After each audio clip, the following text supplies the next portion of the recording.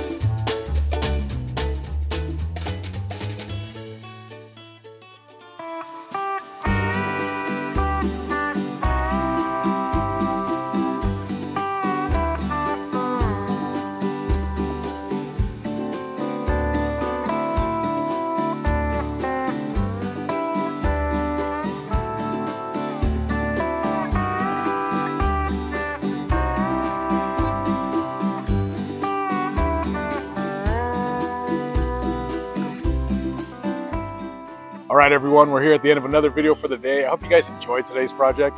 This is one of the things that I love to make. So if you guys want to see me make more in the future, make sure to write me down in the comment section below.